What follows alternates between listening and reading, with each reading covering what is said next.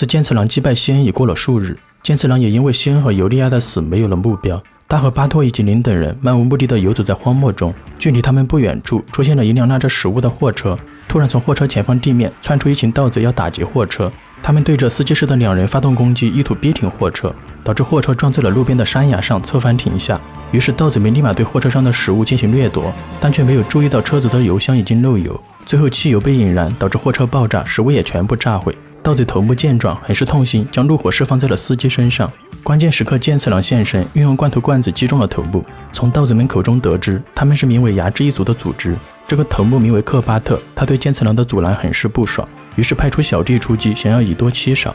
奈何在剑次郎面前，人数优势这个概念是不存在的。盗贼们蜂拥而上，全力出击，剑次郎却岿然不动，稳如泰山。随即将他们高高举起，然后直接扔了出去。克巴特见小弟们都被打败后，不敢再触怒剑次郎。剑次郎将救下的两人送回他们所在的村子。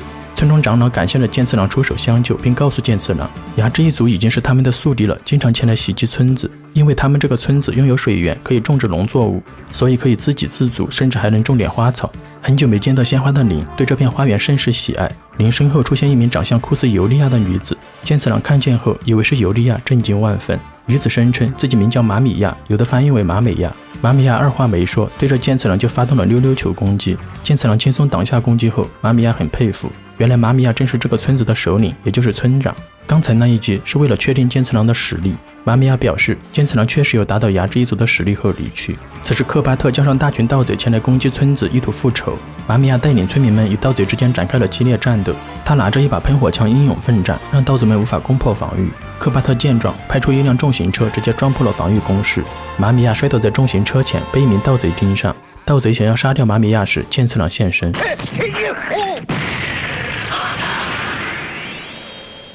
剑次郎杀掉了这名盗贼，并警告牙之一族离开。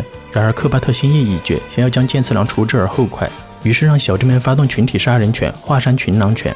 剑次郎忍无可忍，立马急速出拳，疯狂连击，一记北斗翻车爆裂拳，瞬间秒杀了盗贼们。村民们看着剑次郎以一敌百，都惊呆在了原地。见多识广的马米亚认出了剑次郎使用的是北斗神拳，于是拜托剑次郎留在村子当他们的保镖。剑次郎本来就没有目标，便同意留下保护他们。远处观战的克巴特见部下全军覆没，愤怒不已。他决定回去搬救兵，彻底毁掉健次郎和村子。与此同时，另一个城镇中，一群混混正在调戏一名女子，没想到斗篷之下的竟然是个长相俊美的长发男子。此人正是使用蓝斗圣拳之蓝斗水鸟拳的雷伊。雷伊故意扮成女人模样，勾引这些混混。目的就是为了找到胸口有七颗伤疤的男人。雷伊使用蓝斗水鸟拳轻松杀掉了这群混混，随即抢夺了他们身上携带的食物，继续找寻。第二天，科巴特和弟弟科巴拉带着手下埋伏在村外。经过昨天的教训后，科巴特不敢再贸然进攻。此时，他们发现了正在前往村子途中的雷伊。由于雷伊拥有俊秀的面庞，让科巴特很是不爽。他派出小弟出击，意图杀掉雷伊出个恶气。但在雷伊的蓝斗水鸟拳的攻击下，打头针的盗贼们都被切成了块，惨不忍睹。科巴特见遇到强敌，立马服软，并想要拉拢雷伊。村子这边，马米亚正在指导村民修复防御工事。他们知道牙之一族肯定会卷土重来。此时，雷伊扛着一个盗贼的尸体来到了村子，并且主动申请成为村子的保镖，保护村民。剑次郎这边，马米亚找到林，声称要为他洗头发。临走之际，他将一个苹果扔到空中，用溜溜球一分为二。剑次郎一个闪身避开溜溜球后，苹果二分为四。四人分食后，马米亚表示，作为保镖的健次郎很称职。马米亚离开后，雷伊出现在了健次郎身后。雷伊询问健次郎：“马米亚是否是健次郎的女人？”此时，村里的小孩追着林的小白狗撞到了雷伊，从雷伊身上掉下一块红色的丝巾，雷伊顿时慌乱，随即一把手抢回丝巾后转身离去。村外的克巴特见雷伊成功成为了村子保镖，很是高兴。原来他们打算和雷伊里应外合，将村子据为己有。不久后，林找到马米亚，二人在水池边洗头发。由于水源极度匮乏，林已经很久没有这样洗过头了。林问马米亚：“为何身为女人却是村子的首领？”马米亚告诉你，这个村庄是马米亚的父母打造的，他们召集人手，在此处挖掘出水源，耕作田地，以开满花朵的村庄为目标，不断努力奋斗。在这个过程中，与强盗斗智斗勇，最后牺牲才守住村子，这才有了现在村民们基本能自给自足的生活。马米亚问林，为何要跟着剑次郎一起四处漂泊？林回答道，是因为剑次郎非常的温柔。马米亚很惊讶，这个平时高冷的男人还有温柔的一面。此时雷伊突然现身，二人顿时警惕起来。马米亚让雷伊离开，但雷伊却直接走向二人。于是马米亚拿出溜溜球攻向雷伊，却被其直接切开。马米亚上前攻击，反被雷伊控制了起来。雷伊表示，将玛米亚交给盗贼实在太可惜了。林从雷伊的眼神中看到了剑次郎的那种温柔。此时，克巴特带着手下闯进了村子，开始掠夺。雷伊立马跑了出去，玛米亚穿好战衣紧随其后。看着身后奔跑的马米亚，雷伊想起了自己的妹妹。看来雷伊也是个有故事的猛男啊！盗贼们人数众多，攻势太猛，村民们无法抵挡。很快，盗贼们就占领了村子存放食物的仓库。就在他们想要对这里的女人和孩子们下手时，一个盗贼冲了进来，头部爆裂，当场死亡。原来是剑次郎已经出手，而且将外面的盗贼全部击败。小头目见状，并不慌乱，声称这次有高手助阵。然而下一秒，雷伊现身，直接将小头目给杀了。剑次郎认出了雷伊使用的是难得水鸟拳。剩下的盗贼们见雷伊反水后，吓得灰溜溜的逃走了。剑次郎问雷伊为何要背叛牙之一族，雷伊表示自己已经看出了双方的输赢结果，而且自己只会选择强者这一边，因为在找到七个伤疤的男人之前，自己必须活着，所以在此之前，自己背叛、杀人什么的都无所谓。克巴特得知雷伊背叛自己后，回到了大本营，他找到了牙之一族的首领，哭诉自己的遭遇。牙首领将这些盗贼们都称为是自己的孩子，他听闻自己的孩子被杀后，泪流不止，决定复仇。村子这边，林和巴托发现长老正在制作蛋糕。原来今天是村长马米亚的生日，大伙准备庆祝一下。一个名为刚的小伙子骑着摩托车出了村，他想要去山里摘点新鲜的草莓，为蛋糕做点缀。没想到在回村途中，中了牙之一族的埋伏，被抓住。科巴特为了替手下报仇，将刚带到村口示威，并口出狂言，要让村民们血债血偿。看着刚被盗贼们蹂躏，村民们很痛心，想要开门救刚。但马米亚深知这是科巴特的陷阱，阻止了村民们。刚也在不断呼喊，让村民们不要出来。剑次郎想要出手，却被雷伊拦了下来。雷伊告诉剑次郎，贸然出手的话，盗贼会杀掉刚，然后逃走。话音刚落，这群畜生就杀掉了刚。科巴特扯下刚脖子上的项链后，开车扬长而去。村民们立马开门，将刚的尸体抬回了村子。林捡到了从刚身上掉落的草莓，交给了长老。长老表示，刚曾经说过，生日蛋糕上必须要有草莓。马米亚听闻后，转过身子，默默离开了大伙儿。雷伊表示，马米亚不愧为村长，同伴死了竟然如此冷静。村民们告诉雷伊，其实最伤心的人就是马米亚，因为刚是马米亚唯一的亲弟弟。众人听闻后万分震惊。马米亚来到父母墓前，强忍泪水。长老告诉玛米亚，想哭就哭出来，没人会笑话他。玛米亚却表示，现在不是哭泣的时候，他要继续保护村民。长老离去之后，玛米亚再也没能忍住夺眶而出的泪水。剑次郎和雷伊将这一幕看在眼里，记在了心里。不久后，剑次郎在村外找到一个牙之一族的探子，他从探子口中逼问出了牙之一族部队的位置，随即告诉探子不要动，否则就会原地自爆。探子不信邪，偏要移动，身体爆裂而亡。剑次郎根据线索找到了牙之一族的一支部队，没想到雷伊已经捷足先登，与刀子们开战。克巴特声称要让雷伊见识一下华山群狼拳。话音刚落，他身后的刀子们全部爆裂身亡。原来是剑次郎出手，将其背后的部下击溃。剑次郎问雷伊为何会出现在这里。雷伊表示，自己的理由恐怕和剑次郎的一样，因为他们都无法抵抗马米亚伤心的泪水。二人相视一笑后，立马与剩余的刀子们开战。面对两位高手的攻击，刀子们完全不是对手。数个回合下来，就只剩下了头目科巴特。剑次郎将科巴特从刚那里抢夺的项链扯了下来，紧接着释放北斗千手坏拳，命中了科巴特。剑次郎表示，科巴特只有七秒钟的时间来忏悔，然而雷伊连忏悔的时间也不给，直接杀掉了科巴特。科巴特死后，剑次郎询问雷伊寻找七个伤疤男人的理由。雷伊从怀中拿出那块红色丝巾，并告诉了剑次郎缘由。这条红色丝巾原本是白色的婚纱丝巾，是雷伊的妹妹爱结婚时应该带的东西。可就在爱结婚前那个晚上，正在试婚纱时，一群强盗趁雷伊不在，杀进了他们的村子。雷伊的母亲当场被杀，父亲也被重创。最后，他们掳走爱的时候，雷伊的父亲扯下了这块丝巾。雷伊的父亲没看清盗贼的长相，只看到了胸口有七个伤疤。后来，雷伊回到村子后，父亲将这个线索告诉他后死去。为了替父母报仇并找回妹妹，雷伊一直在找寻那个胸口有七个伤疤的男人。牙这一族首领得知克巴特的死讯后，泪流不止。克巴特的弟弟克巴拉找到首领，声称要为哥哥报仇，因为哥哥生前十分宠爱自己，每次都有求必应。首领听闻后，让科巴拉成为头目，去干掉剑次郎和雷伊。并派出军师戈西巴去打探剑次郎和雷伊的亲人，想要运用卑鄙手段让剑次郎和雷伊偿命。此时的剑次郎和雷伊已经回到了村子。剑次郎将刚的项链交给了马米亚，让他倍感欣慰。马米亚振作起来后，号召村民们走出悲伤。村民们也在马米亚的激情演讲中斗志满满。事后，雷伊却拦住了马米亚，不让他去战斗，因为她是女人。马米亚表示自己早就丢掉了女人的身份，成为了战士。雷伊听闻后迅速出击，将马米亚的衣服切碎。马米亚立马捂住胸口，害羞地蹲在了地上。雷伊声称，若不是女人，马米亚就没有必要害羞。随即，雷伊将那条血染红的丝巾披在了玛米亚身上。剑次郎和雷伊打算彻底铲除牙之一族，离开了村子。玛米亚再次穿上了战衣，与二人一同前往。他们翻山越岭，朝着牙之一族的总部方向进发。不久后，他们就被科巴拉的队伍发现了。科巴拉为了替哥哥报仇，埋伏在三人的必经之路上。很快，剑次郎等人就中了科巴拉的埋伏。科巴拉还专门为三人准备了一口棺材。他一声令下，盗贼们从地面窜出攻击，有的则是从山上跳下发动突袭。这招便是华山群狼拳中的妖灭之刑。不过，在北斗神拳和南斗水鸟拳面前不堪一击。就连马米亚的溜溜球也能对其进行有效打击。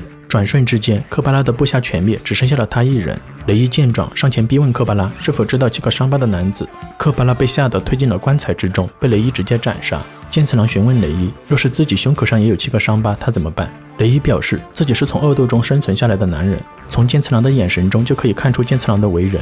牙这一族首领这边得知科巴拉死后，很是愤怒。此时刚好军师哥西巴打探消息归来，他没能查到剑次郎的亲人，只发现了雷伊的妹妹。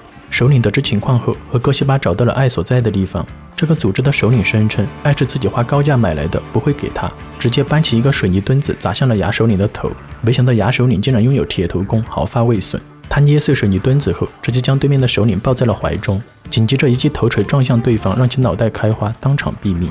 牙首领找到爱后，将其带回了牙之一族总部，然后派军师哥西巴带着人马将剑次郎和雷伊引来。哥西巴带着盗贼们对附近的村庄发动了屠杀，并且还将年轻的村民带回去为死去的盗贼陪葬。村民们在反抗中出入了一个身材巨大的盗贼，此人名叫马达拉，是个狂暴且残忍的家伙。他杀掉了好几个作为陪葬品的村民。哥西巴见状，只能运用带有铁球的锁链将其控制。剑次郎等人看着一路被毁的村庄，更加愤怒。他们在最后一个村庄中发现了一名还未死去的男孩。男孩告诉剑次郎等人，这一切都是牙之一族干的。说完之后，直接殒命。三人痛心不已。此时，两名不知死活的盗贼现身，想要偷袭。刚好剑次郎和雷伊在气头上，直接秒杀二人。哥西巴将陪葬品带回后，牙之一族举行了葬礼。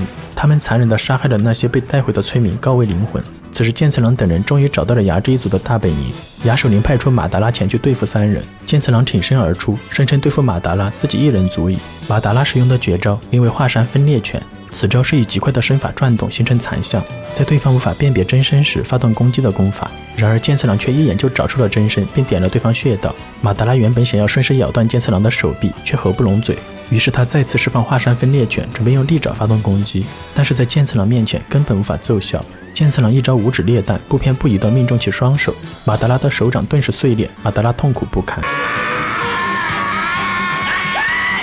随即，马达拉的头直接爆炸，死在了众人眼前。牙首领见状很气愤，直接将爱展示了出来。雷伊看到自己心心念念的妹妹现身，激动万分。然而此时的爱已经双目失明，没有认出哥哥。雷伊直接将那条丝巾扔了过去。爱通过触摸发现是哥哥送给自己的丝巾，喜出望外。从爱口中得知，他被七个伤疤的男人抓走后，又在多个组织之间以奴隶的身份被盗卖。绝望的爱每天以泪洗面，却又没有勇气面对死亡。于是只好关闭了心门，苟活在这个世上。得知妹妹的悲惨遭遇后，雷伊怒发冲冠，想要抢回妹妹。可是牙首领却用绳子将爱绑了起来，要挟雷伊。他让雷伊杀掉剑次郎，否则他就永远见不到妹妹。玛米亚见状，挺身而出，声称自己是剑次郎的未婚妻，他想用自己来交换爱，成为牙首领的人质。雷伊表示，若玛米亚能救回爱，他将用自己的一生报答他。玛米亚来到牙首领身边后，直接释放溜溜球偷袭，可是却被牙首领的铁头功给弹开了。牙首领一把将玛米亚抓了起来，玛米亚趁机拿出钢刺，直接牙首领胸口而去。然而钢刺却被折弯，并未成功刺进牙首领的皮肤。牙首领这招名为华山核定义，可以瞬间将筋肉转化成钢铁般的硬度。这样一来，玛米亚和爱都成为了牙首领的人质。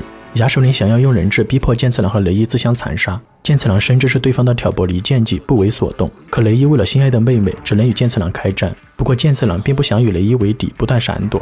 所以导致雷伊也无法使出全力对战剑次郎，因为雷伊无法杀掉这个对自己毫无防卫之心之人。牙首领等得不耐烦了，再次以爱的性命逼迫雷伊。玛米亚见雷伊动了杀心，立马叫住了雷伊，随即打算以自杀的方式阻止二人自相残杀。没想到爱与马米亚想法相同，准备咬舌自尽。牙首领怕失去筹码，让手下将爱的嘴巴堵了起来。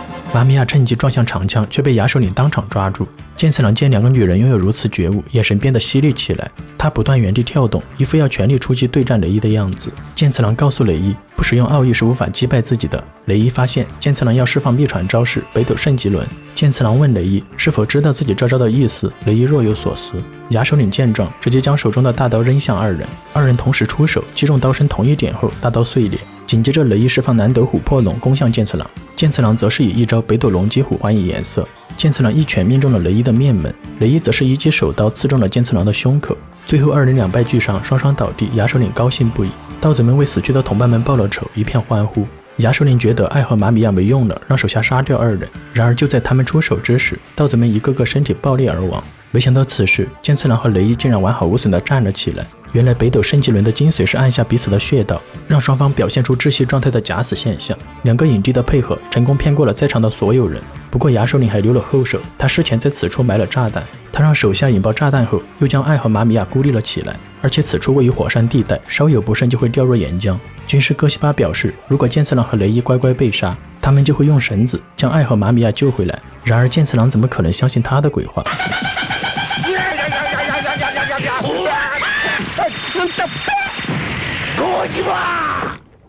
牙首领见军师被杀，立马让手下杀掉爱和马米亚。马米亚拿出备用溜溜球出击，保护爱的安全。此时雷伊绕到了二人这边，以盗贼开战，保护爱和马米亚。剑次郎则是来到了牙首领身前与其对决。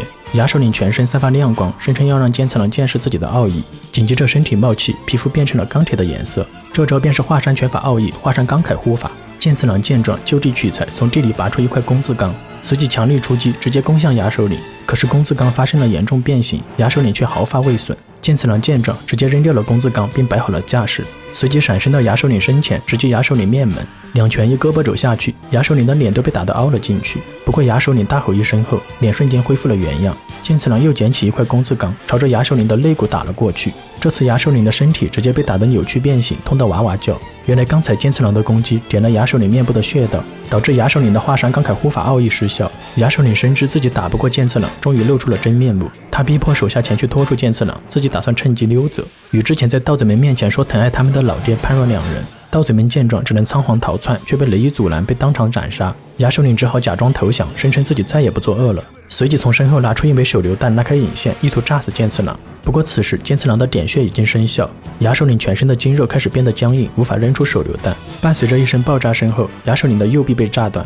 牙首领想要做最后的挣扎，冲向剑次郎。剑次郎一招岩山两斩波击碎了牙首领的头盖骨，牙首领掉入岩浆中，烧得连渣都不剩。看着弟弟的大仇已报，玛米亚满眼泪水。村民们得知牙之一族被彻底铲除后，沉浸在喜悦当中。这也就意味着剑次郎和雷伊的保镖任务已经完成。剑次郎运用北斗神拳治疗了爱的眼睛，爱也终于重见光明，再次见到了哥哥的模样，感动流涕。此时剑次郎却褪去上衣，露出了胸前的七个伤疤。不过雷伊表示，经过这段时间的相处，他已经深深了解了剑次郎的为人。与此同时，在另一个城市，那个冒充剑次郎的人正在作恶。此人究竟是何许人也？他冒充剑次郎的目的又是什么呢？欲知后事如何，且看下回分解。我是老蔡峰，我们下期见。上期说到，剑次郎等人彻底铲除了牙之一族，雷伊的妹妹爱也被成功解救，还恢复了视力。从爱口中得知，掳走他的人正在冒充剑次郎。剑次郎也大概猜到了此人的身份，于是他拜托雷伊照顾好林和巴托，打算独自出战。与此同时，在另一个城镇中，那个冒充剑次郎的头套男正在作恶。他在村子中央塑了一座自己的雕像，声称就是剑次郎，并且让村民们一个个前来叫出剑次郎的名字。如果不知道他就是剑次郎的村民都要被砍头，而且是下一个不知道的人去砍上一个不知道的人的头。只要不服从者就会被当场杀掉。这让原本名声大好的剑次郎被村民们憎恨，从拯救世界的救世主瞬间沦为残忍狂暴的杀人魔。此时剑次郎着装严密地出现在了这个村子，他对着正在欺压村民的混混就是一脚。混混爬起后，揪着剑次郎的衣服问他是否知道雕像是谁。剑次郎表示自己不知道。于是混混逼迫剑次郎将埋在地里的村民的头砍掉。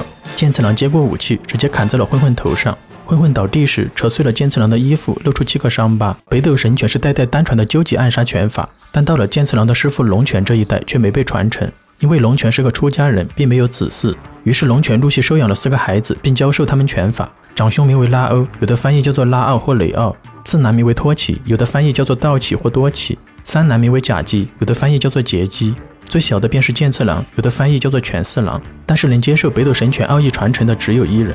这次冒充剑次郎作恶之人，正是他的三哥甲基。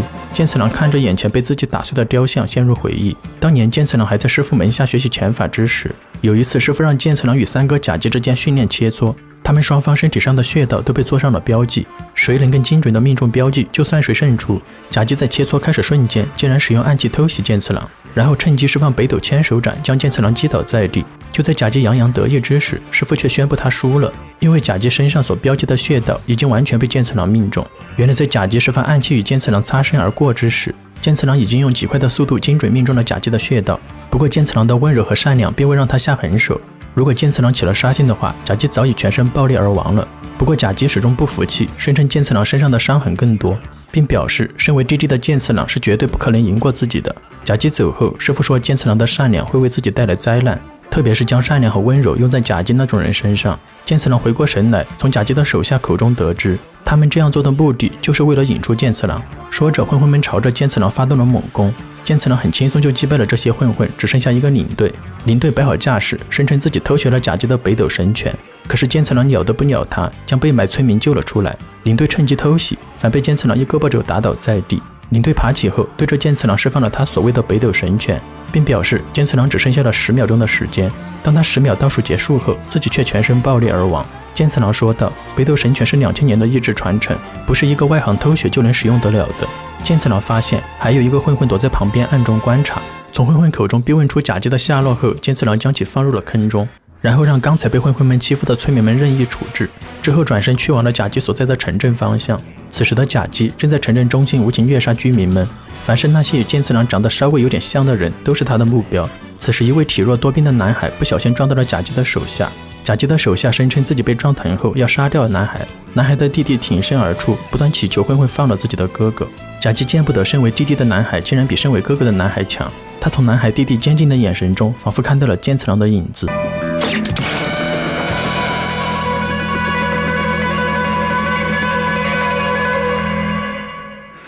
甲基点了男孩哥哥的穴道，准备引剑次郎上钩。他让男孩弟弟脚上绑着铁箱子，走向剑次郎来的方向。很快，剑次郎就在途中遇到了疲惫不堪的男孩弟弟。剑次郎扯断了铁链，很是愤怒甲基的残忍做法。他带着男孩弟弟在城镇中找到了男孩哥哥，并且发现男孩哥哥正使用弩箭瞄准剑次郎。剑次郎看出了男孩哥哥是被甲基点了穴道才这样的。如果男孩哥哥不命中自己，就会当场死亡。于是剑次郎让男孩哥哥射出了弩箭，并用身体接下。然后迅速为男孩哥哥解开了穴道，脱离了甲基的支配。男孩哥哥对自己射伤了剑次郎十分愧疚。剑次郎告诉男孩兄弟二人自己没事，并承诺他会将兄弟二人所受的痛苦一并还给甲基。暗中观察的甲基手下见状，发射了信号弹通知同伙。紧接着，甲基的手下一波接一波的去引战剑次郎。剑次郎面对这些小喽啰如同过家家，一路披荆斩棘之后，终于见到了甲基本人。甲基挑选了一栋大楼顶部作为二人决战的地方。二人回忆起了当初师傅挑选继承人的事情。甲基得知剑次郎成为北斗神拳继承人后，满是不爽。他找到大哥和二哥，质问他们为何不反对师傅的决定。没想到大哥和二哥却一言不发。甲基非常愤怒，于是他找到剑次郎，逼他辞去传承者的位子。因为甲基认为，身为哥哥的自己更有资格成为继承人。剑次郎却反问甲基，为何要使用枪械逼迫自己？想要成为继承人的话，就应该运用拳法打败自己。甲基怒斥道：“不管使用何种手段，只要能赢就是强者。”剑次郎听闻后，一把抓住了甲基的面门，将其扔在地上。甲基立马起身，想要从背后突袭剑次郎，可是膝盖却出现了异常，直接跪倒在地。剑次郎对着甲基的面门挥出数拳，打到他不能自理。甲基的头部不断膨胀，近乎炸裂，痛苦不堪。甲基离开时，声称自己一定会杀掉剑次郎的。从那以后，甲基的面貌变得极其丑陋，只能戴着头套。伤口每次发痛，都会让他对剑次郎的憎恨变得更强烈，所以他才以剑次郎的名义到处作恶，以解心头之恨。甲基表示，上次是因为自己摔跤，剑次郎才侥幸取胜。这次他要让剑次郎变成自己这样的嘴脸。剑次郎告诉甲基，那次并不是什么意外情况，而是自己在甲基不经意间命中了他的穴道，而且自己很后悔当初手下留情没有除掉甲基。于是双方摆好了架势，准备进行一场生死之斗。甲基率先使出一套北斗罗汉击出击。剑次郎不断闪躲之时，甲基又想暗算剑次郎，却被识破。剑次郎反手急速出拳，不断攻击，直接打飞了甲基。甲基见自己敌不过剑次郎，想要用枪械出击，可是剑次郎已经点了穴道，让他枪口对向了自身，甲基只好对着手臂点穴，强行扔掉了枪。他深知眼前的剑次郎比起当初又强悍了数个档次，于是甲基打破了楼顶储存燃料的罐子，意图烧死剑次郎，并声称自己特意选这里就是因为有这张王牌。甲基还告诉剑次郎，唆使西恩出卖灵魂给恶魔的也是他。甲基因为嫉妒和憎恨剑次郎成为了继承人，并且得知西恩对尤利亚还念念不忘，于是不断唆使西恩，让西恩原本动摇的心变得坚定。所以后来才发生了西恩强行夺走尤利亚的事。想着因甲基才死去的西恩和尤利亚，剑次郎愤怒至极。他一拳砸向地面，导致楼顶坍塌，二人掉落下层。火焰的威胁解除后，二人再次开战。没想到甲基竟然使出了蓝斗圣拳的招式。甲基表示，剑次郎能够看破北斗神拳，却看不破蓝斗圣拳。然而当甲基再次发动攻击时，却被剑次郎轻松挡下。剑次郎表示，这种慢半拍的半吊子蓝斗圣拳毫无意义。比起西恩的蓝斗圣拳，甲基连给西恩提鞋都不配。而且刚才这一击就是为了西恩，第二击是为了死去的尤利亚。甲基想要拿起身边的铁棒反击，却疼痛难忍。原来剑次郎第二击释放了北斗神拳奥义水影星，现在甲基全身被痛觉神经围绕，只要轻轻触碰，甲基就会感到无比疼痛。剑次郎拿出先前被哥哥男孩射伤的弩箭刺向甲基，这一集是为了城镇中被甲基折磨的那对男孩兄弟。第四集则是因为剑次郎自己的愤怒，甲基固定头部的架子被击碎，甲基头部爆裂。得知两个哥哥还活着，剑次郎打算找到他们，于是他写信给村中的巴托和林等人告知了情况，并拜托雷伊继续保护他们的安全。剑次郎在寻找哥哥途中经过了一个村子，村中一个穿着黑色背心的壮汉正在叫嚣找人对打。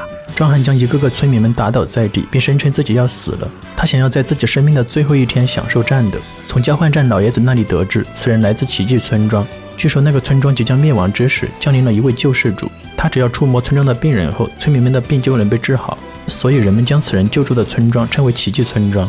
剑次郎听闻后，立马猜出了此人就是二哥托起，于是他走向壮汉，并单手将其举起扔了出去。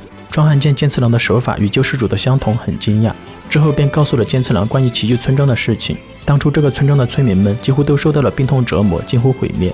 有一天，托起出现在村庄，只需要按下身体的某些部位，村民们的病痛就渐渐痊愈，村子再度复苏。所以村民们称他为救世主，也造就了奇迹村庄的传说。可是后来，在一夜之间，托起却突然发生了巨大的变化，温柔的救世主瞬间变成了残酷的杀人魔。他运用村民们做实验，导致村民们不断惨死。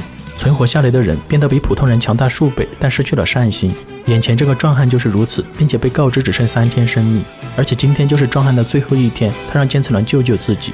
话音刚落，壮汉的头部爆裂，死在了剑次郎的面前。剑次郎无法相信自己的二哥会干出那样的事情，因为托起是个内心正直、善良且极其温柔之人。他一直将北斗神拳用在医术上，有悬壶济世之心。剑次郎也深信二哥一定能够完成自己的愿望，支持着他。于是剑次郎起身前往奇迹村庄一探究竟。他在路上遇到了被托起运用北斗神拳做实验的人，其中一个的身体可以媲美蛇的柔韧，另一个的攻击可以媲美螳螂的敏捷，还有一个体力强壮，宛如狗熊一般。这三人的力量完全超越了常人，十分凶残。不过剑次郎冷静对战，先后击败了蛇人和螳螂人，最后运用五指裂弹将熊人的双手废掉，紧接着一记北斗双冥掌正中熊人胸口，熊人的胸骨碎裂之后上身爆裂而亡。解决掉三人之后，剑次郎继续朝着奇迹村庄进发。林这边由于放心不下剑次郎，偷偷去寻找剑次郎。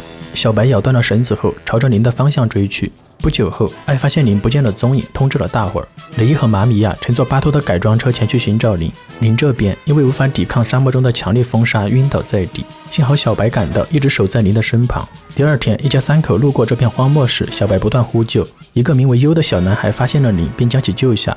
小男孩一家所在的村子是个流动村庄，他们一直在各地游走，寻找水和食物来生存。林跟着他们一起有个照应，顺便打听剑次郎的消息。奇迹村庄中，托奇的手下抓住了一名重量级拳王。托奇一直在寻找强者来成为自己的实验素材，然而这个重量级拳王却是故意让他们抓住的，目的就是为了替人们除掉托奇这个祸害。重量级拳王以时速两百公里的拳头攻向托奇，没想到托奇轻松避开后，反手点了他额头的穴道，重量级拳王顿时无法动弹。托奇表示他是上等实验人偶，随即托奇在重量级拳王身上找到一处穴道，点了下去。重量级拳王因为实验失败后手臂爆裂，最后死去。托奇得知剑次郎正在四处寻找自己后，直接命令手下派人前去除掉剑次郎。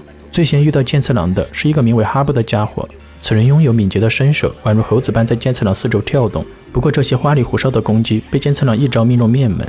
哈布还想出击的时候，全身已经无法动弹，因为剑次郎刚才那一击点了哈布的穴道，导致他肌肉变得僵硬，无法离开棒子。剑次郎折磨哈布一通后，让其为自己带路去找托奇。刚出酒馆门，又遇到了托奇的手下哥姆的狩猎队。哥姆声称，托奇做实验的人偶都是他们队搜集的。看着这群视人命如草芥的家伙，剑次郎勃然大怒，一记翻车爆裂拳出击，解决掉了狩猎队的大部分成员。哥姆见状，急速出击，运用长枪划伤了剑次郎腹部，然后与仅剩的三名手下一起围攻剑次郎。剑次郎跃到空中避开攻击，并反手命中四人。哥姆的三名手下被点了穴道，眼里将哥姆视为击杀目标。解决掉狩猎队后，剑次郎让哈布继续带路。林这边发现优的身体出现了状况，异常难受。流动村庄的医生对优进行了救治，却没有任何起色。突然有一人建议去附近的奇迹村庄寻求帮助，因为他们不知道托奇已经变坏，还以为他是救世主。优的父母听闻后，毅然决然带着优去寻求托奇。林知道剑次郎也是要寻求托奇，便和他们同行。不久后，四人一狗就来到了奇迹村庄的所在地。林让小白在门外等候，他们带着优找到了托奇。托奇表示救人可以，但是需要优的父母付出代价。为了救治儿子，为人父母的愿意付出一切。托奇听闻后答应救治优，但林觉得托奇很诡异，十分担心。托奇点下优的穴道密孔后，优难受至极，昏了过去。优的父母非常担心，但托奇声称优三小时后就会痊愈。紧接着让优的父母履行刚才的承诺，因为托奇已经将二人当成了实验人偶。托奇按下优父亲胸口的穴道密孔后，见其没死，很兴奋。紧接着又对着优父亲脖子的穴道密孔按去，突然托奇察觉到门口的屏风后面有动静，原来剑次郎已经在哈布的指引下到达了这里。剑次郎发现了优身体的异常，直接解开了穴道，并表示如果优醒来叫出声的话，就会当场毙命。剑次郎质问托起为何现在会变得如此卑劣残暴。剑次郎所认识的托起是个温柔善良的好哥哥。托起告诉剑次郎，是因为时代已经变了，如今的世道，医学远远没有暴力有用。剑次郎深知眼前的托起已经不是以前的托起了，于是立马对着托起发动攻击，准备为民除害。然而托起却轻松挡下了剑次郎的所有攻击。托奇表示，剑次郎的拳法都是自己这个师兄教的，比起甲基那种半吊子，可是有天壤之别。紧接着二人再度出招，都扼住了对方的要害。剑次郎见托奇有这般身手，更加确定他就是本人，随即便再次质问托奇为何会变成现在这样。托奇终于说出了事情原委。当托奇来到这个村子时，村民们都被疾病折磨，于是他运用北斗神拳救治村民，让村子恢复了生气。可是后来有一天，托奇在村外出诊归来时，却发现奇迹村庄被一群强盗掠夺，村民们被无情杀害。看着自己辛辛苦苦重建的村子被毁成这般模样，托起第一次在愤怒中迷失了自我。他运用北斗神拳将这些强盗们全部杀死。等到托起恢复意识后，内心有种难以形容的悲哀。流下血泪的托起从那时开始改变了想法。他觉得北斗神拳本就是杀人拳法，就应该用来杀人，所以继承人的目标就是要找出所有穴道密孔。就在此时，优的父亲拿着匕首准备杀掉托起，可是托起轻松避开攻击，并反手点了优父亲的穴道。托起声称这个穴道是他最新发现的，名为肌震孔穴。肌震孔穴能使心脏亢奋，最后导致心血管破裂。话音刚落，优的父亲就因为心血管破裂而亡。剑次郎被眼前的一幕激怒，当场暴毙。随即运用急速的 T 技出击，托起只能不断闪躲。然而剑次郎的攻击仅仅只是打碎了托起的上衣。当剑次郎看到托起身后的大片伤疤时，无法再出手。多年前，剑次郎刚刚到师傅门下修行拳法之时，身为二哥的托起负责带着剑次郎进行基础修行。有一次，剑次郎在水流下方修行时，从水流上方掉下了一截硕大的木头，直冲剑次郎。托奇为了救健次郎，以自己的身体挡住了木头。当时托奇身受重伤，才留下了这块疤痕。托奇表示自己是健次郎的救命恩人，健次郎肯定是无法对救命恩人下手的。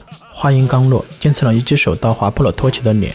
剑次郎声称自己能听到被托起杀害的人的悲鸣，所以已经对眼前这个托起彻底死了心。不再犹豫的剑次郎再度出手攻向托起，托起这次再也无法看清楚剑次郎的攻击，被强力压制。托起深知自己已经不是剑次郎的对手，立马将优的母亲作为挡箭牌冲向剑次郎。剑次郎为了不伤及优的母亲，被托起点中了两类穴道，这个穴道名为赞滩穴，能让对手无法动弹。与此同时，巴托和雷伊等人来到了奇迹村庄。小白看到众人后，立马奔向了众人。三人一狗刚想进入大本营时，被托奇的禁卫队阻拦。当禁卫队队长看到雷伊时，万分惊讶。雷伊一眼就认出了此人，并叫出了他的名字梅巴达。于是雷伊立马明白了，这个托奇是个假的。梅巴达怕托奇的身份被揭穿，让禁卫队直接出击。雷伊和马米亚冷静对战，很轻松就击败了禁卫军。最后让梅巴达引路，将众人带入了托奇的大本营。刚好看到被点赞叹穴的剑次郎成为了托奇的素材。原来阿米巴故意伪装成了托奇的样貌，冒充托奇。为了骗过剑次郎，他甚至在背上制造了伤疤。阿米巴见自己的阴谋败露，也就不再隐瞒。不过现在的剑次郎已经被阿米巴点穴，无法反抗。阿米巴声称要杀掉剑次郎后，以托奇的身份成为继承人。雷伊询问阿米巴，将真正的托奇怎么样了？阿米巴告诉众人，奇迹村庄发生悲剧是真的。真正的托起因为放弃了希望，才让自己有可乘之机，并声称托起和剑次郎一样是个天真的家伙。雷伊询问阿米巴为何这次会对北斗神拳下手，阿米巴说自己是个天才，任何拳法都能快速学会，可是却没有一个人认同自己的天赋，也没有人肯将精湛的功夫传授给自己，就连被这个村子称为救世主的托奇也是如此。所以阿米巴才运用人体实验来探求北斗神拳的绝招。并厚颜无耻地说：“身为天才的自己，做什么都应该被原谅。”剑次郎听闻之后，冲破了阿米巴点的穴道，站了起来。剑次郎表示，若是真正的托起点穴，自己绝对无法冲破。阿米巴得知后，恼羞成怒，直接登墙跃到空中，然后对着剑次郎释放鹰爪三角脚出击。剑次郎急速避开，反手直击阿米巴面门，将其打回原形。阿米巴立马命令手下一起出击，除掉剑次郎。然而这些手下都是杨不托起才跟着阿米巴的。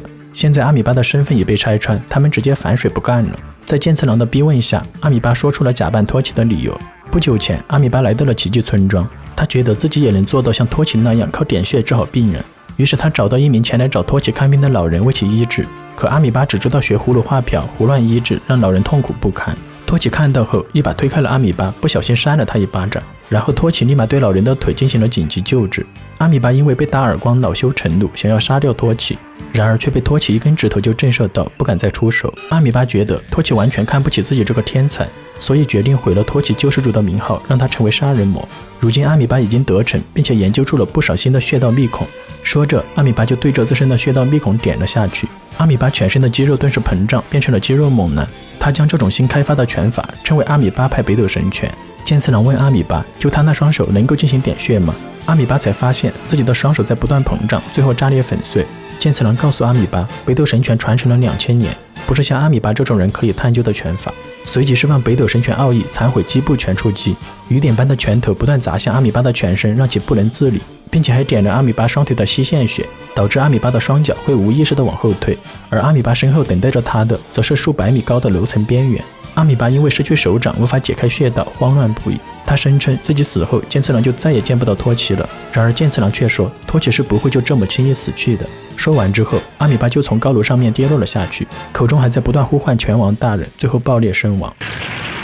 不久后，众人回到了马米亚的村子，与爱会合。雷伊询问剑次郎，托奇究竟是个怎样的人？剑次郎表示，托奇原本是北斗神拳继承人的最佳人选，无论是技巧的华丽感、流畅性，还是敏捷性。他都已经达到了无可挑剔的心神技巧合一的境界。可是后来全球核弹爆发，地球近乎毁灭。剑次郎和尤利亚还有托起三人所在之地附近有核爆炸。三人在赶往避难所时，发现避难所的大门出现了故障，大门从内部无法关闭，只能在外面进行关闭。托起为了救大伙儿，自己毅然决然决定成为牺牲者。他将剑次郎和尤利亚推进避难所后，从外面关上了门。托奇的身体因此受到了核死灰和核辐射的侵蚀，导致托奇身体被严重损伤，无法再成为北斗神拳继承人。他打算运用自己所剩无几的生命去救治病人，并声称他死前能救治的人将会成为他活过的证据。众人听闻了托奇的事迹后，都深感震撼和敬佩，于是决定帮助剑次郎找到二哥托奇。他们分头寻找托奇的下落，最后在一处汇合。马米亚经过跋山涉水后，听闻有个占卜老人知情。于是马米亚找到了占卜老人，打听托奇的行踪。占卜老人却执意要为马米亚补一下他的命运，因为占卜老人已经卜出今天就是自己的死期。占卜老人告诉马米亚，这次卜卦将是自己的最后一卦。他卜出等在马米亚前方的也是死路一条。但是听从命运的安排是一种命运，反抗命运的安排也是一种命运。占卜老人让马米亚一定要自己开拓自己的命运。随后告诉了马米亚，托奇被关在卡山德拉镇。此时，一群壮汉追着马米亚，已经到达了占卜老人家门外。老人为马米亚打开了一条秘密通道，让其救出托奇。因为这个占卜师老人也是奇迹村庄的幸存者，为了拯救救命恩人托奇，他决定帮马米亚拖住追兵。马米亚在占卜老人的掩护下，成功甩开了壮汉们。但他到达与剑次郎和雷伊约定碰面的地点时被抓。他们接收到的命令是杀掉所有打听托奇的人。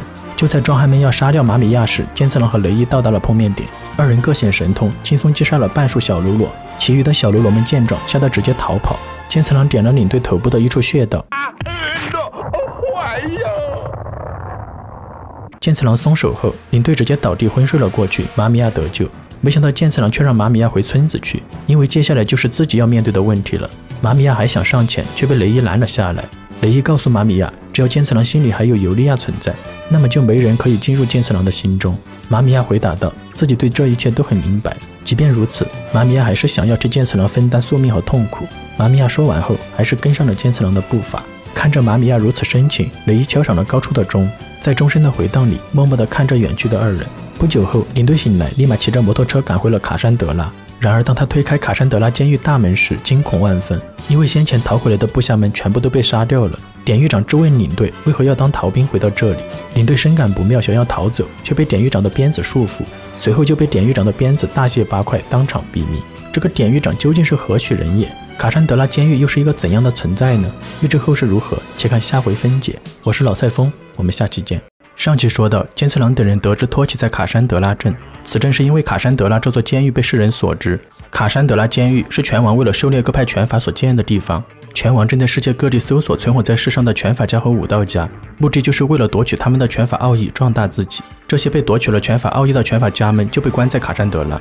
传说一旦被关进了卡山德拉监狱，就再也无法出来，因此卡山德拉监狱被人们称为死亡监狱。而且监狱中还充斥着拳法家们的苦痛和死亡呐喊。这些声音听上去宛如厉鬼哭泣一般，所以又被人们称为“鬼哭之阵”。守卫卡山德拉监狱的典狱长名为威格尔。此时的威格尔已经知道剑次郎等人正前来救托起，于是派出了卡山德拉袭击队前去阻拦。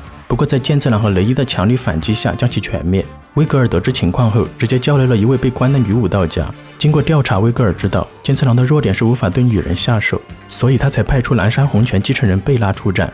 贝拉因为母亲在威格尔手中，不得不去阻止剑次郎。贝拉的父母没有儿子，贝拉是他们唯一的女儿。贝拉父亲因病去世前，让贝拉继承了蓝山红拳。父亲不想让蓝山红拳后继无人，才出此下策的。从那天起，贝拉不得不舍去女人的身份，完成父亲的遗愿。后来，拳王为了夺取蓝山红拳奥义，将母女二人抓到了这里。为了让母亲重获自由，贝拉决定杀掉健次郎。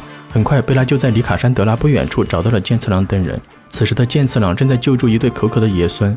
健次郎从贝拉的眼神中看到了悲伤，知道他身不由己。贝拉硬着头皮朝着健次郎不断进攻，剑次郎根本没有打算还手，一直在避让贝拉的攻击。贝拉运用蔷薇花攻向小女孩，想要逼迫剑次郎出手，可剑次郎用身体替小女孩挡下了攻击。贝拉被剑次郎的温柔和善良震惊，无法再对他出手。剑次郎告别贝拉后，和雷伊还有马米亚离开了这里。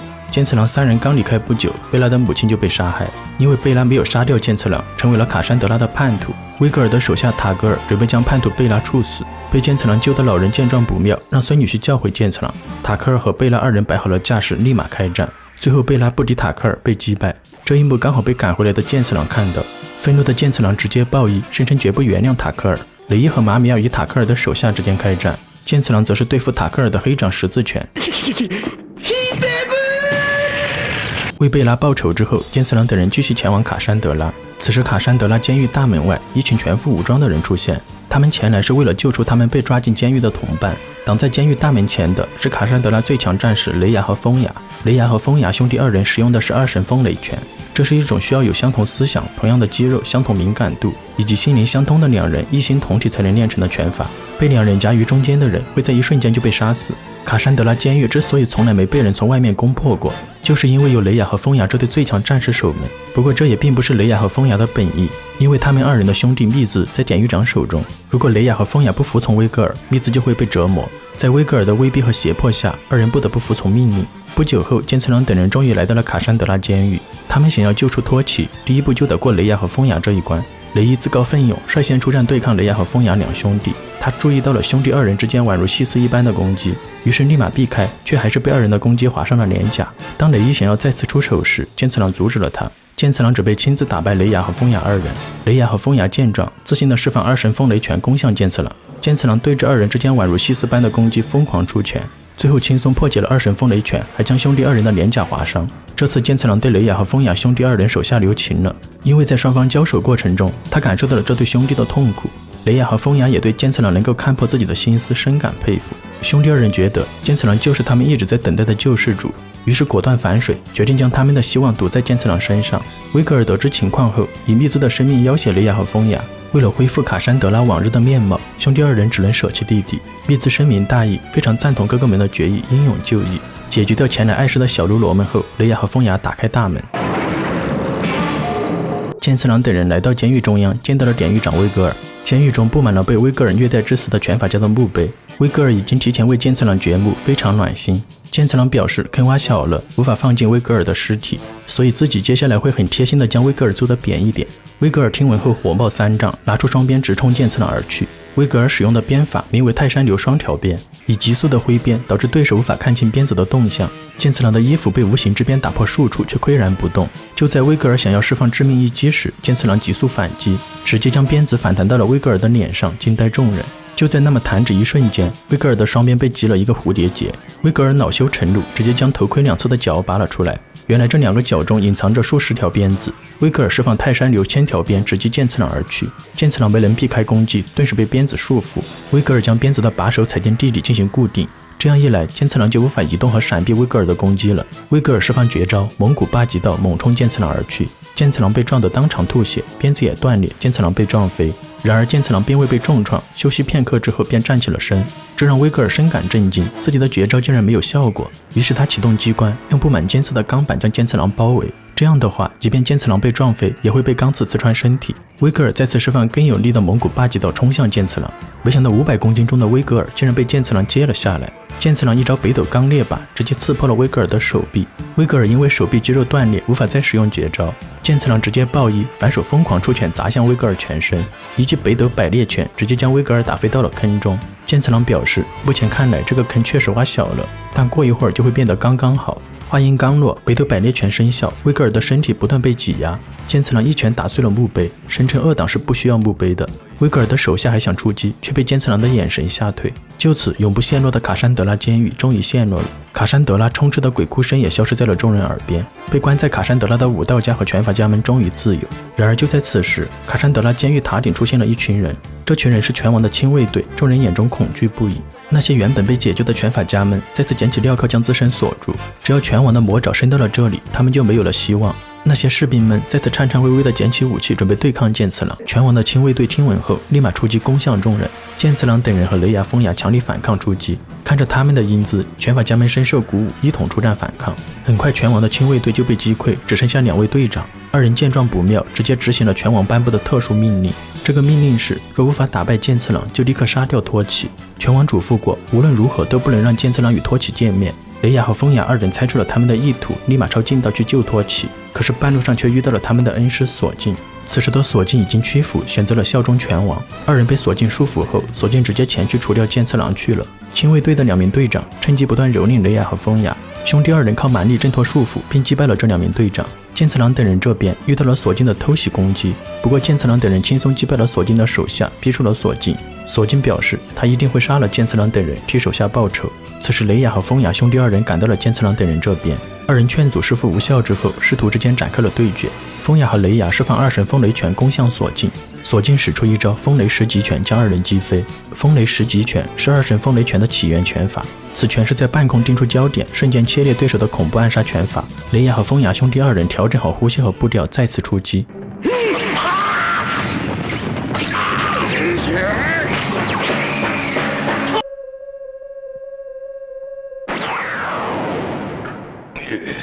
不过雷雅和风雅二人的身体损伤也不小，暂时无法动弹。他们声称托起被关在塔顶最顶层的牢房中，并让剑次郎等人无论如何都要救出托起。剑次郎根据雷雅和风雅的情报，成功找到了托起。监管托起的士兵见状，想要直接杀掉托起，防止二人碰面。剑次郎却一点都不慌，声称能杀掉托起的话可以试试。就在士兵拿刀砍向托起时，托起的全身散发亮光，士兵顿时被托起身上散发出来的斗气震慑，动弹不得。束缚托起双手的手铐也被震碎，掉落地面。托起释放北斗友情破岩拳，反手攻向了士兵。这招可以让对手无痛苦且充满快感的死去。托起起身告诉剑次郎，自己已经等剑次郎很久了。原来托起的身体已经无法再进行旅行了，所以才故意被抓到这里，等待剑次郎的出现。他也一直相信剑次郎一定会来救自己。剑次郎扛起托起，准备离开卡山德拉。不过此时卡山德拉监狱开始发生崩塌，而且拳王派出了绝死队来阻止剑次郎等人离开。雷伊和玛米亚出击，与绝死队成员们展开战斗。在二人的反击中，悉数击溃了绝死队。雷亚和风牙这边在塔门处遇到了绝死队队长博鲁格。博鲁格触发机关，准备用巨石封掉塔体的唯一出口。雷亚和风雅为了让剑次郎等人能够逃出塔体，兄弟二人运用身体挡住了巨石坠落。博鲁格趁机对雷亚和风雅二人不断发动猛攻。不久后，剑次郎等人从塔中出来，见到了二人。卡山德拉监狱也倒塌碎裂在了众人面前。这些废墟石头上的血迹，都是拳王杀害的武道家留下的，每个痕迹都是一个或者数个悲剧的印记。这个自称是世纪末霸主的拳王，正是剑次郎的大哥拉欧。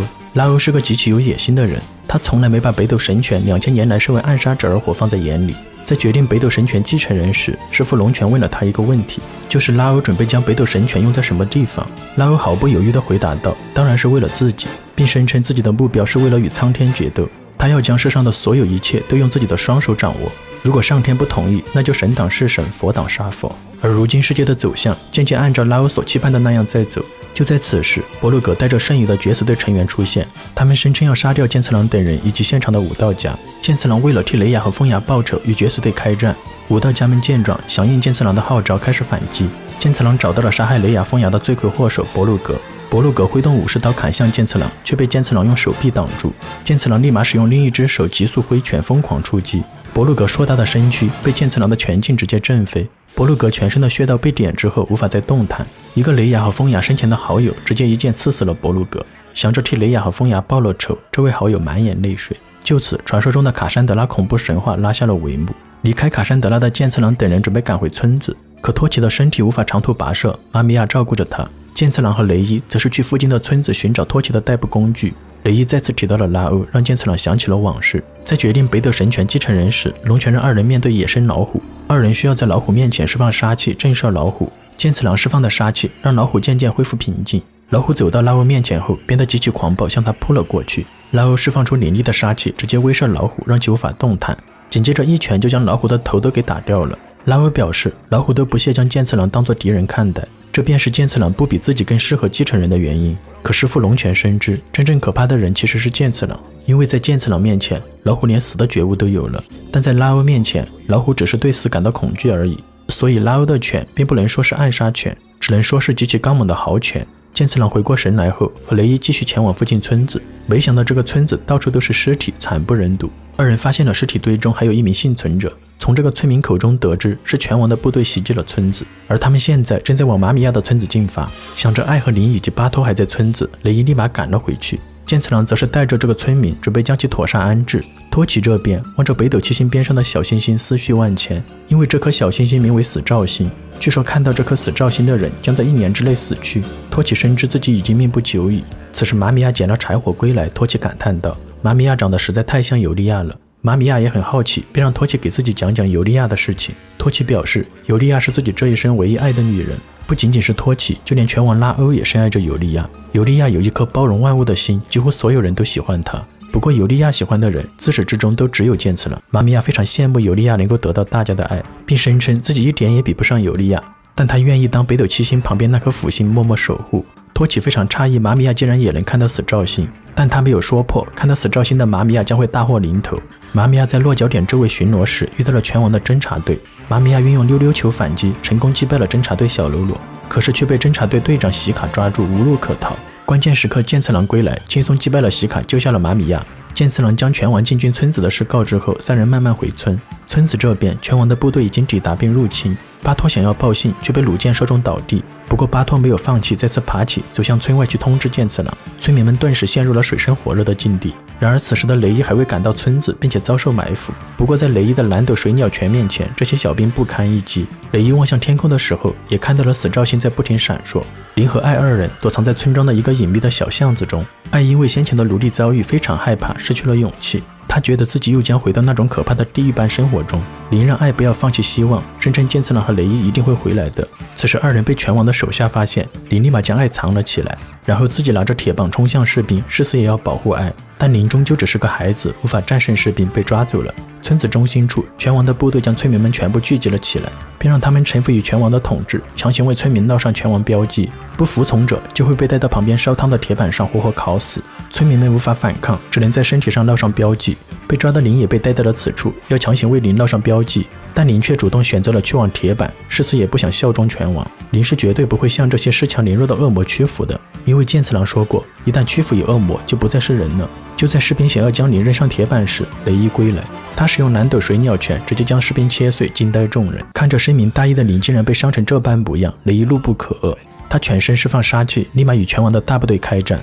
雷伊使用出无比华丽的攻击，在士兵中来回穿梭，数十个回合下来，士兵们的身体就被割裂，惨不忍睹。雷伊来到队长面前，愤怒地望着队长，可队长丝毫不慌，并声称自己已经知道雷伊的弱点就是妹妹，于是派出剩余的手下全力搜寻爱的下落。出乎众人意料的是，爱竟然手持弩箭主动出击。此时的爱已经受到林的鼓舞，不再软弱，想要反抗，而且他也不想一直都是哥哥的软肋，决定改变自己。雷伊看着妹妹有如此觉悟，不再担心妹妹。村民们也被爱和林奋起反抗的精神鼓舞，开始反击。巴托也出现在这里，他是被雷伊在回来的路上救的。很快，拳王的部队就被击溃，只剩下了队长。队长拿起一桶汽油一饮而尽，手持双刀，自信满满。紧接着释放龙吐火焰术，直击雷伊而去。这招就是靠刚才他喝进肚子的汽油释放的绝招。不过，这种杂耍般的攻击根本无法对雷伊构成威胁。雷伊飞身上前，直接切断了队长的双刀，并划破其肚子。队长体内渗出的汽油被点燃，当场炸裂，粉身碎骨而亡。然而就在此时，拳王拉欧出现在了众人面前。拉欧表示，雷伊的蓝斗水鸟拳还挺令他开心的。林只是看了拉欧一眼，全身就不由自主的瑟瑟发抖。他立刻叫住了想要与拉欧对战的雷伊，可是雷伊心意已决，势必要和拉欧之间决出胜负。拉欧询问雷伊是否曾看到过北斗七星旁边的星星，雷伊回答道自己确实看到过那颗星星。拉欧告诉雷伊，这样的他确实有资格与自己交战。并声称自己不用下马就可以打败雷伊，因为在这个世界上已经不存在有人能让自己下马对战。雷伊表示自己今天要让拉欧死在马背上，直接出击。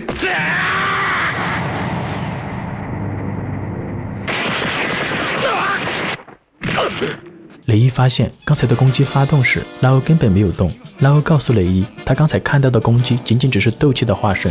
对于真正领悟拳法之人，可以将斗气缠绕自身。现在这个程度的雷伊，连接近拉欧的身体都办不到。但是雷伊没有放弃，他的脑海中想起了剑次郎。曾经的雷伊只是为了救出妹妹而活，憎恨着这个时代。可是后来遇到剑次郎和玛米亚还有大家，大伙儿的出现给雷伊平静的心灵上很多慰藉。雷伊没想到，那个曾经堕入无边黑暗的自己。如今也能够重新作为一个人而活，所以为了大伙儿，雷伊势必要打败拉欧，脱离恐怖统治。雷伊释放蓝斗究极奥义，断戟相杀拳直击拉欧。拉欧不愧为拳王，一眼就看出了雷伊想要同归于尽。他直接取下披风扔向雷伊，将其视线遮挡，随即单指对准雷伊的心血筹穴点了上去。此时剑次郎赶到村子，并且亲眼目睹了雷伊被拉欧点穴。拉欧告诉剑次郎。他唯一值得拉欧夸奖的就是如此天真的剑次郎竟然能够活到今天。说罢，直接将昏迷不醒的雷伊扔给了剑次郎。剑次郎轻轻地将雷伊放下后，决定与拉欧对决。林颤抖着身体将剑次郎的腿抱住，想要阻止他。剑次郎微笑着对林说自己没事后，走向拉欧摆好架势。拉欧问剑次郎是否看到过北斗七星旁边的星星。剑次郎回答道：“没有看到，那又如何？”拉欧声称，这就代表着他与剑次郎交手的时机还未到。随即转身准备离开村子，却被剑次郎叫住。拉欧反手一掌，释放出强大斗气，直逼剑次郎而去。剑次郎被拉欧的斗气吹飞，向后滑行了数十米。剑次郎深知拉欧的实力又比以前强悍了数个档次。不过如今的剑次郎也不是曾经的剑次郎了。剑次郎大吼一声后，释放出强大斗气包裹全身，回应拉欧。拉欧的坐骑黑王被剑次郎的斗气吓得狂躁不安。拉欧表示，能令黑王如此惧怕的剑次郎还是第一人。随即运用蛮力和魄力，终于让黑王冷静了下来。看着剑次郎已经足够强，拉欧愿意当剑次郎的对手。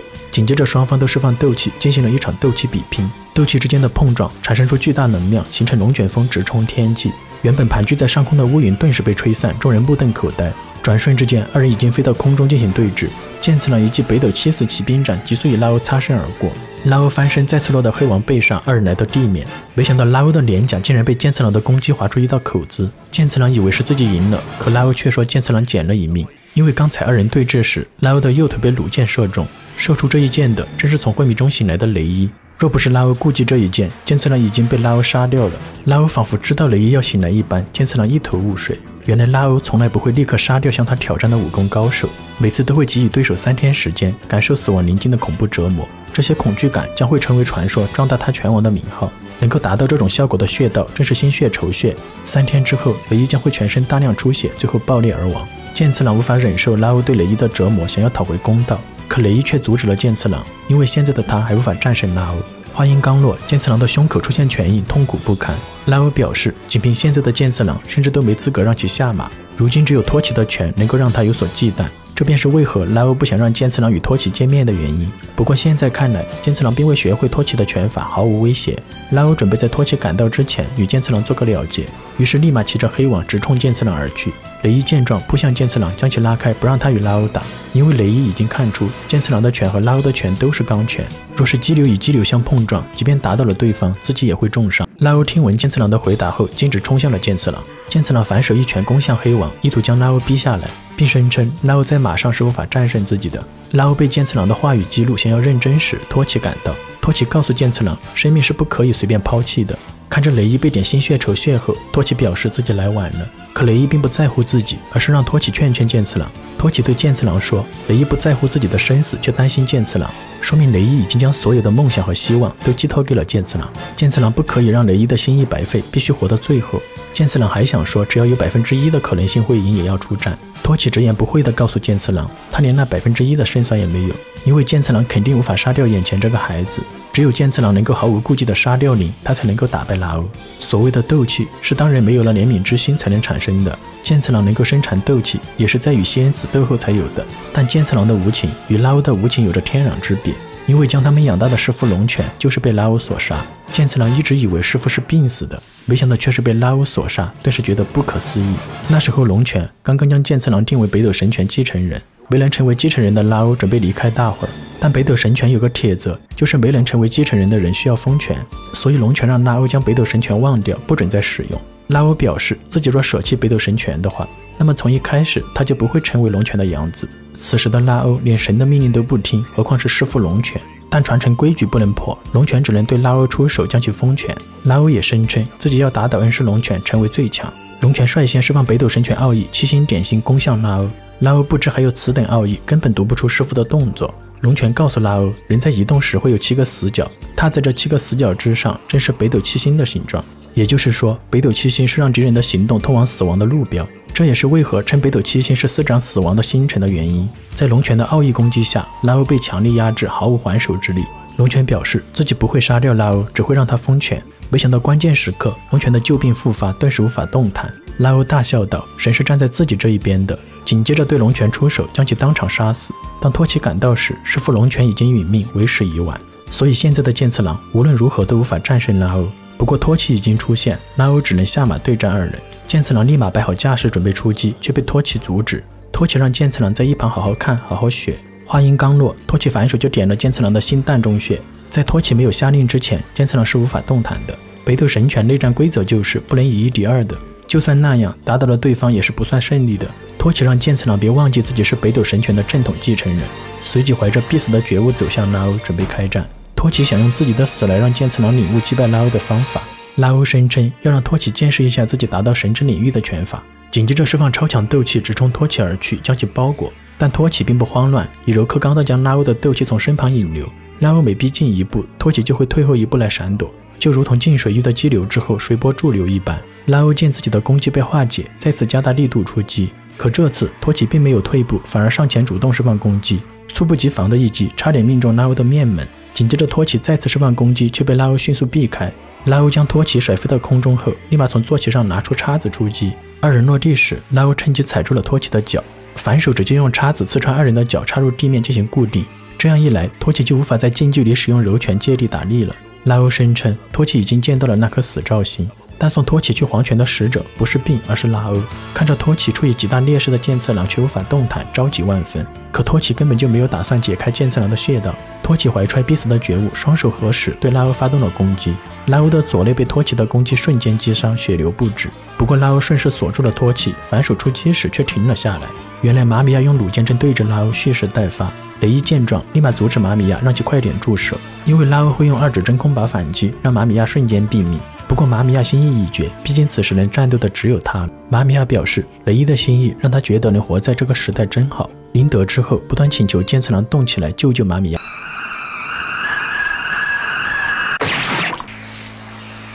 剑次郎爆发出强大的力量，当场爆衣，开始战斗。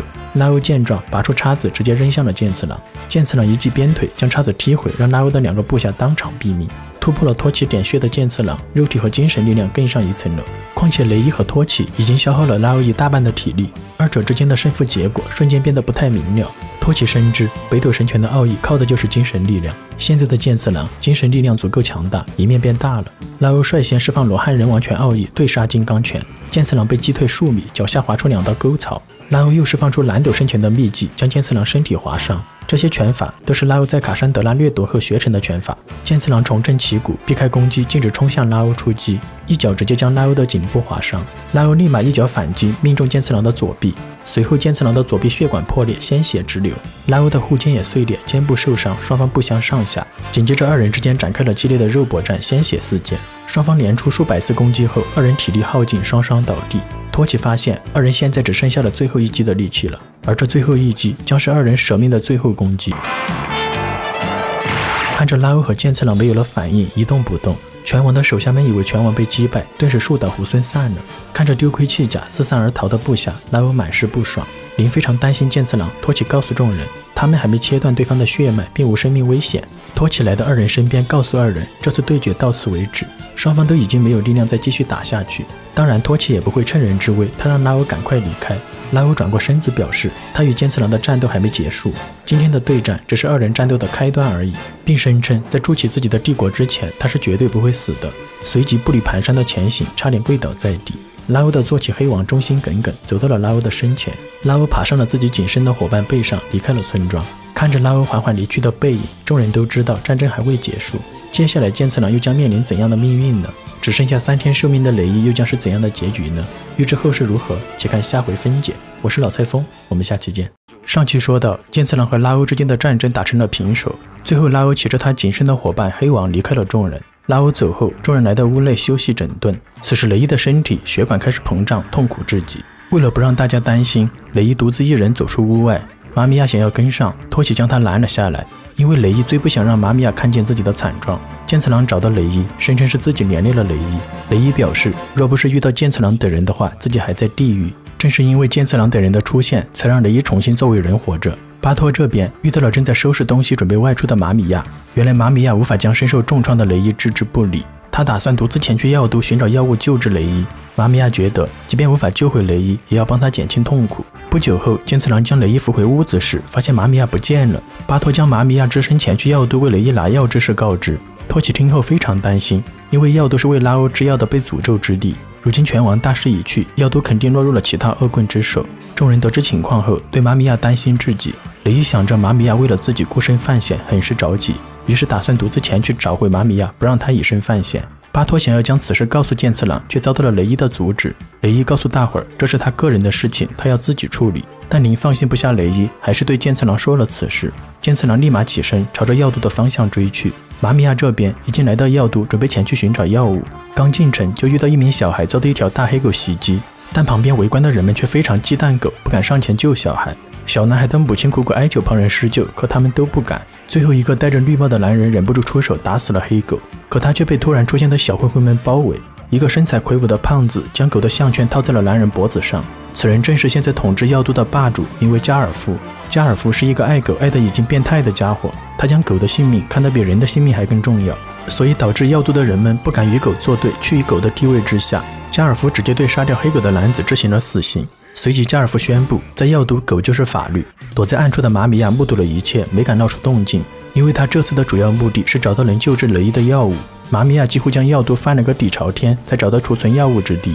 他利用溜溜球将守卫打晕后，进入了药房之中，可是却被看守药房的狗发现，并攻向马米亚。马米亚运用溜溜球出击，轻松解决掉了黑狗。此时，加尔夫带着手下赶到，恰好看到自己的爱犬被杀。加尔夫愤怒地将铁质项圈扔向马米亚，将其打倒在地。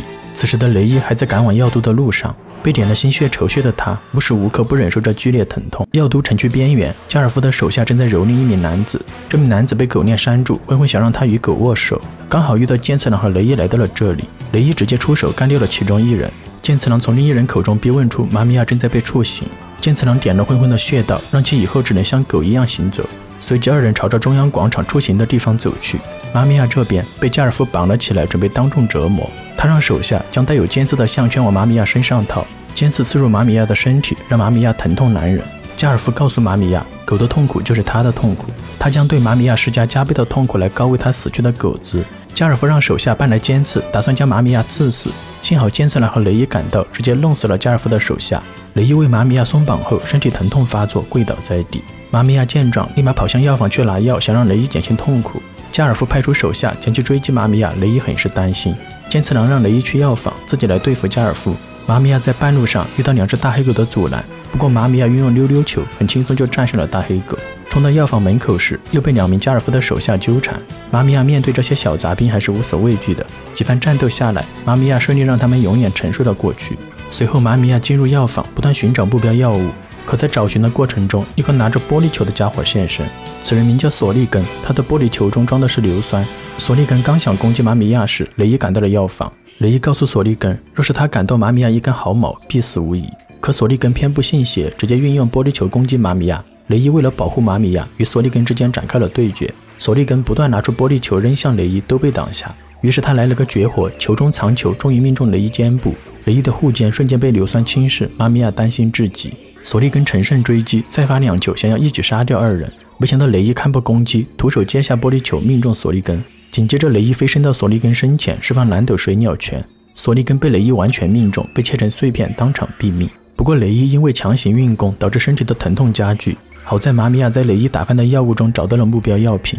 剑次郎这边被加尔夫的狗子军团包围了起来，剑次郎一个眼神，直接将龇牙咧嘴的狗子吓得四散而逃。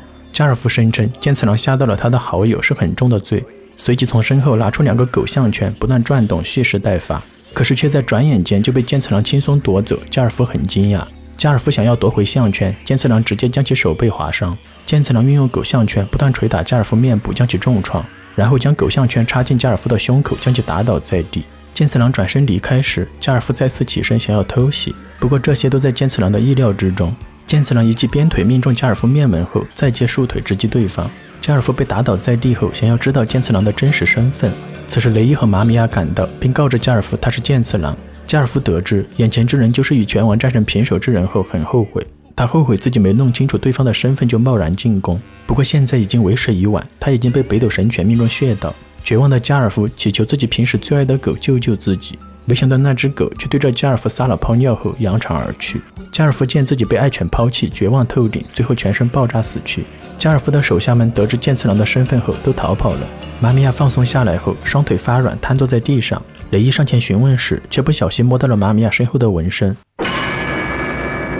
与此同时，在尤达的大本营中，他的副官达加尔归来。由于拳王纳欧迟迟没有回城，尤达让达加尔去探查，但达加尔已经搜寻数日，也没有找到拳王的下落。原来尤达与拳王拉欧是一伙的。不过尤达内心却有自己的小算盘。达加尔建议让尤达趁机掌控大权，却被尤达阻止。尤达让达加尔不要小看拳王，否则会自掘坟墓。就在此时，尤达发现被他抓来的一名女子擅自改了发型。尤达声称，女子没有经过自己的允许变得不完美了。因为尤达一直认为自己是神在这个世界上创造出的最美丽并且最强的男人，而能给尤达美丽姿态的只有完美无瑕的东西。尤达让部下将那名女子扔到沙漠中，让其自生自灭。不久后，剑次郎和雷伊等人回到了村子，他们找到村中的长老，询问了关于马米亚的事情。长老终于决定不再隐瞒，向众人说出了事情原委。事情发生在马米亚二十岁生日那天，此时的马米亚美丽动人，已经是一名绝色美女。马米亚的父母邀请了全村人为女儿举办生日宴会，大家都在祝福着马米亚能有一个幸福美满的人生。然而尤达的军队出现，打破了这场生日宴会的氛围。尤达准备掳走马米亚，让其留在自己身边。玛米亚的父母出面阻拦，却被尤达残忍杀害。最后，尤达带着玛米亚离开了村子，扬长而去。村民们面对尤达强大的军队，无计可施，他们只能眼睁睁地看着尤达将玛米亚带走。数日之后，玛米亚衣衫褴褛地回到了村子。从那天起，玛米亚便抛弃了女人的身份，成为了一名战士。雷伊得知玛米亚还有如此悲惨的过去，很痛心。于是他找到了玛米亚，并声称自己一定会打败尤达。但玛米亚却不想让雷伊淌这趟浑水，让雷伊不要这样。随即满眼泪水的跑了出去，却遇到了剑次郎。二人四目相对之后，玛米亚继续跑了出去。不过雷伊心意已决，打算在自己死之前打倒尤达。雷伊告诉剑次郎，自己对尤达非常了解，因为尤达和雷伊一样，都是蓝斗六圣拳成员。剑次郎之前打败的西恩也是蓝斗六圣拳之一。蓝斗六圣拳是达到蓝斗圣拳一百八十个流派顶点的六人，尤达正是站在顶点的六人之一。很快，剑次郎和雷伊二人就踏上了寻找尤达的路途。半路上，雷伊的身体愈发糟糕，总是吐血。不过，雷伊并不在意这些，还是继续去往了尤达的城市。二人来到尤达所在的城市边缘时，遇到尤达的手下胡作非为。剑次郎出手控制住小头目，救下了被欺压的村民，然后从小头目口中逼问出尤达就在中心建筑。剑次郎没太为难这些手下，直接去往了尤达的住处。二人一路披荆斩棘，除掉了前来碍事的小喽啰。当二人到达尤达的房间时，尤达的副官达吉尔主动现身。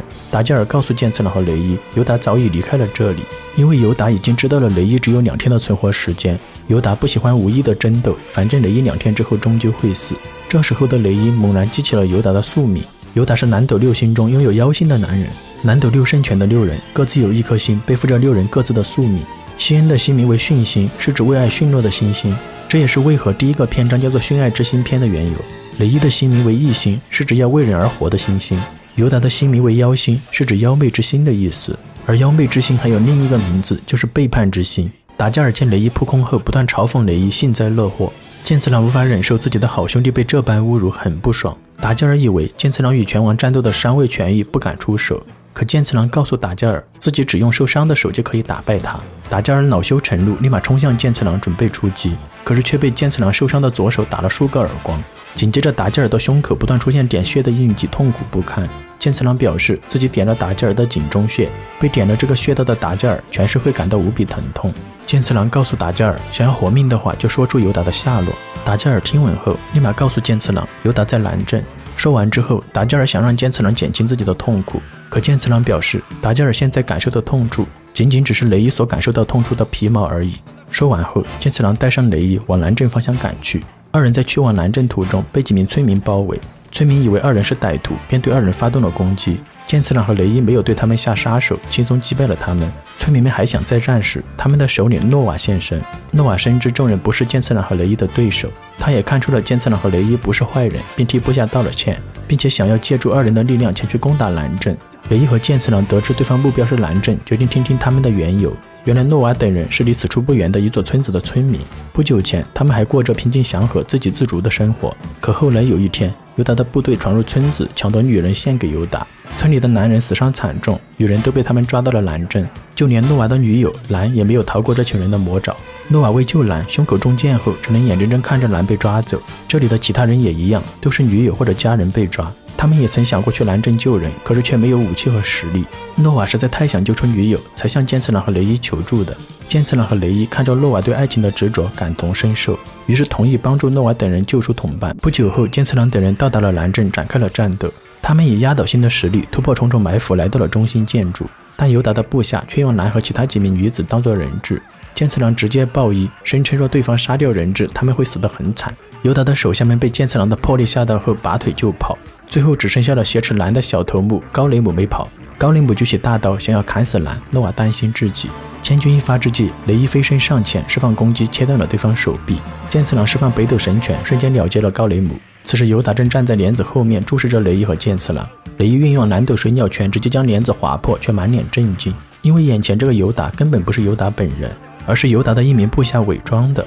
此人不断嘲讽被骗的雷伊，让雷伊怒不可遏。雷伊释放攻击，将此人切得粉碎，也为雷解心头之恨。而真正的尤达竟然出现在了达加尔这边。原来尤达早就料到达加尔会暴露自己的下落，所以故意告诉达加尔自己去往了南镇，并声称托了达加尔的福，让他看穿了剑次郎的绝技。达加尔得知自己被尤达背叛和欺骗后，愤怒至极，直接对着尤达发动了攻击，意图杀死尤达。然而却被尤达的一记蓝斗红鹤拳命中身体。蓝斗红鹤拳会爆发极其锐利的冲击，划破对方身体。达吉尔的身体被尤达的攻击一分为二，当场毙命。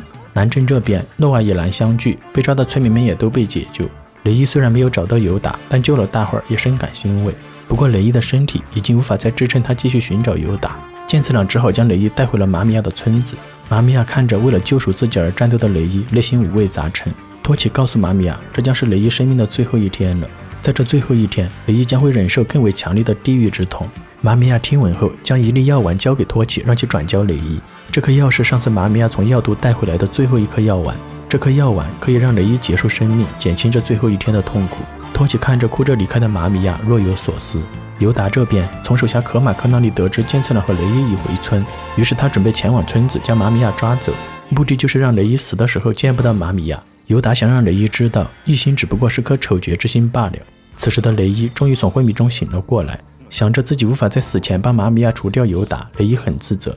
托奇见状，告诉雷伊，其实还有一个方法可以试一试，就是托奇可以点雷伊的一个穴道，让他延长生命。不过代价就是雷伊的身体将会产生比现在数倍的痛苦。而且有可能雷伊会因无法承受痛苦而发狂。紧接着，托奇拿出了马米亚让其转交的药丸，声称雷伊还有个结束痛苦的方法，就是服下药丸死去。雷伊面对托奇给出的两种选择，没有犹豫，他直接选择了点穴续命，决定执行为人而活的一心宿命。随即，雷伊拜托托奇向自己点穴，继续为马米亚而活。托奇将所有人请出了房间后，将那颗药丸递给了雷伊。他让雷伊实在忍受不了痛苦的时候，可以服下药丸，然后点下了以心血、筹穴对立的穴位心灵台穴。剧烈的疼痛感袭来，让雷伊无法忍受，发出阵阵嘶吼。雷伊的指甲也不断脱落，雷伊跪倒在地，不断挣扎。屋外的剑次郎等人听闻后，内心难受不已。爱无法忍受哥哥如此痛苦，泪流不止。然而就在此时，尤达的军队到达村子，发动了攻击。剑次郎和托起立马出战，与尤达的军队展开了战斗。可马克让一个名为高刚的壮汉去了结剑次郎。实则是让高刚拖住剑次郎，自己在暗中观察。可高刚却被剑次郎一招北斗击坠指瞬间打败。此时，两位村民匆匆赶来，告诉剑次郎马米亚被抓了。剑次郎立马赶到雷伊的屋外，拯救被抓的马米亚。几番战斗下来，小喽啰们都被击溃。可是，两名小头目却用马米亚的生命威胁剑次郎。突然，众人察觉到了整个地面在微微颤动。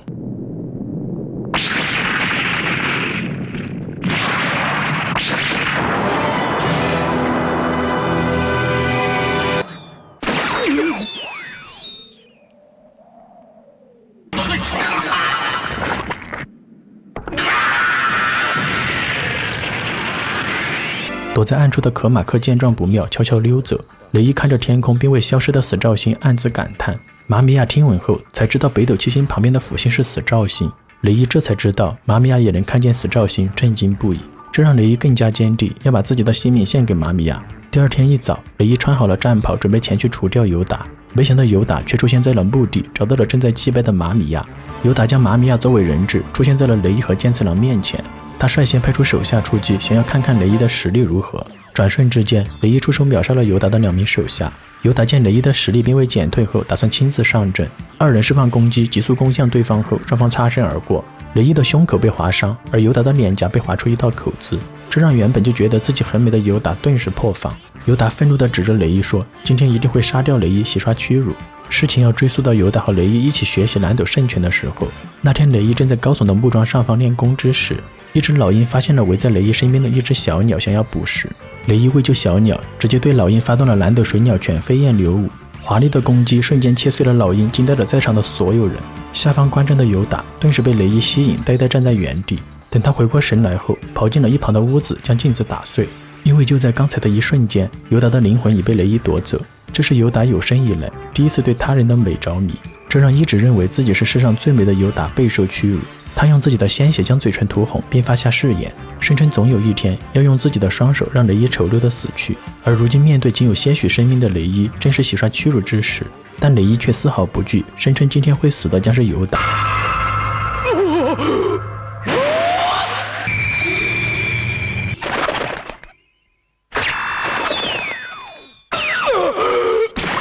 尤达万万没想到，雷伊本应腐朽的身心竟然还如此强悍。